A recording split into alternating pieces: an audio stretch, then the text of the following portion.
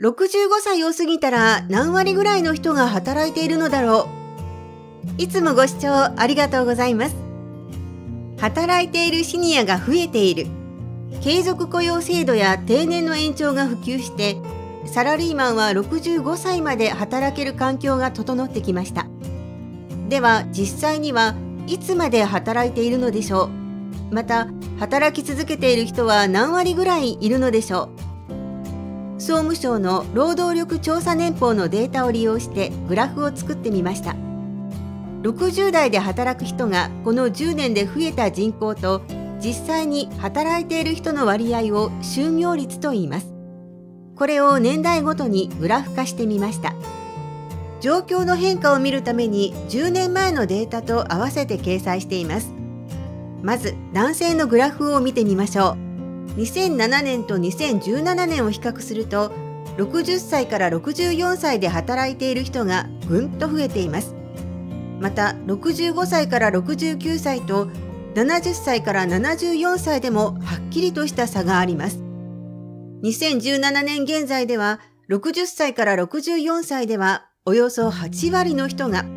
65歳から69歳は5割以上の人が働いています。つまり男性の半分以上は60代後半になっても働き続けているのです。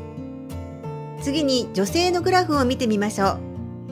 この10年間で60歳から64歳の就業率は男性以上に伸びました。2017年現在では女性の5割以上が60代前半でも働いています。65歳から69歳でも3割以上が働いています。60代で働くことは当たり前になっている。65歳を過ぎたら何割ぐらいの人が働いているのだろうという疑問に対して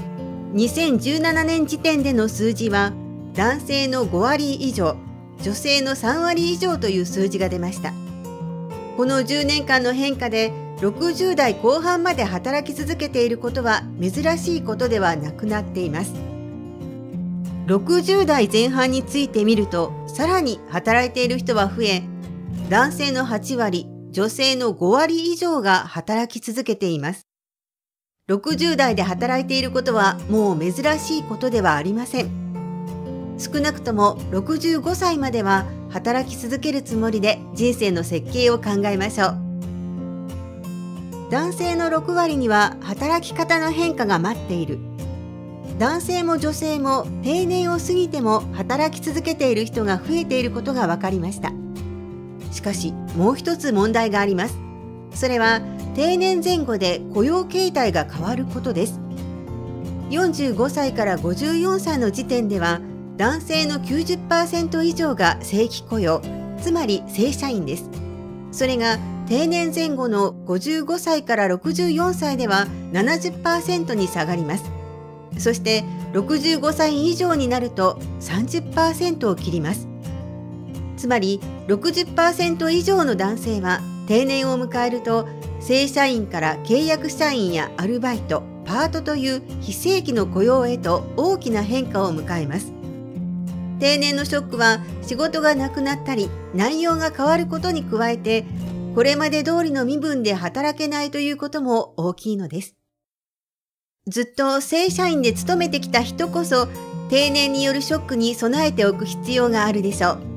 う。なお、女性は結婚や子育てなどもっと早い段階で正規雇用を続けるかどうかという関門があります。そのため正規雇用は45歳から54歳でも40%前後と低めですそれでも20%前後の人は定年に対するショックに備える必要がありますいくつまで働き続けるかということだけではなくどのように働くのかということも考えておきましょう最後までご視聴ありがとうございました。